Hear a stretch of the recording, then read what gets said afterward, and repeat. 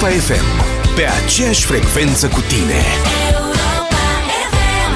Bun găsit, oameni buni! Joi noapte, o întâlnire a ministrilor de finanțe din zona euro s-a terminat cu aplauze și urale din partea celor prezenți, chit că erau video prezenți.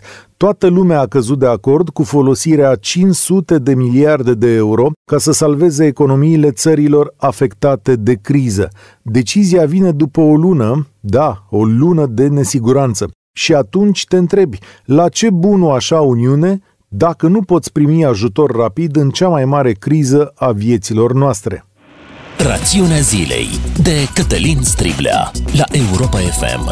Întâlnirea a avut loc pe fondul unei depresii uriașe, cel puțin în Italia. Țara cu aproape 20.000 de morți și cu mai mult de 140.000 de îmbolnăviri suferea cumplit, mai ales că procesul de negociere a durat mai bine de o lună.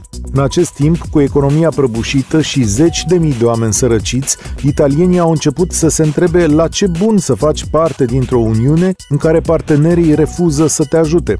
Italia este deja brăzdată de un naționalism puternic și mai multe voci au început să vorbească de posibilitatea unui exit din Uniune. Chiar și voci oficiale au spus că ce se negociază acum este de fapt viitorul Uniunii Europene. Spania, la rândul ei, a acuzat restul lumii că nu vrea să-i ușureze povara pe care o simte în acest moment. Ambele state și-ar fi dorit un mecanism de împrumut cu așa numite corona bonduri, care să fie aplicabil tuturor statelor membre.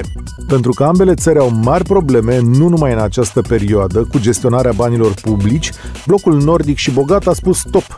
Austria, Olanda și Germania din spate nu au vrut să audă de împrumuturi comune. Toate știu prea bine că le va reveni factura de plată și deja cetățenii din statele lor spun că de ce trebuie să plătim tot noi pentru cei mai săraci din Sud.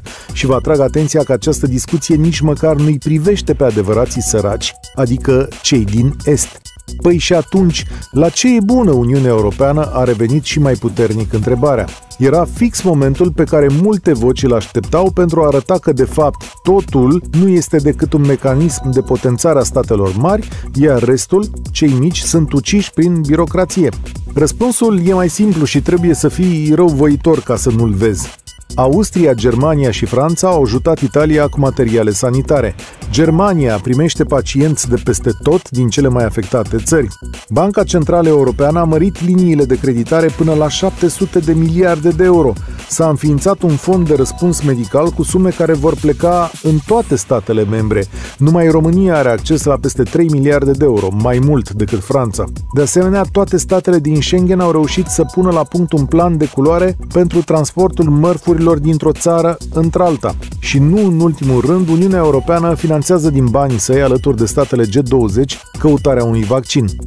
Da, putem cădea de acord că UE este un campion al birocrației și că statele mari au avantaje importante. Și da, se mișcă greu pentru că politicienii au dublă responsabilitate, o dată față de publicul național și a doua oară față de blocul comunitar. Dar poți fi sigur că atunci când se mișcă, rezolvă probleme. Iar pentru sceptici, doar o întrebare. Ne-am fi descurcat singuri astăzi? Europa FM. Pe aceeași frecvență cu tine.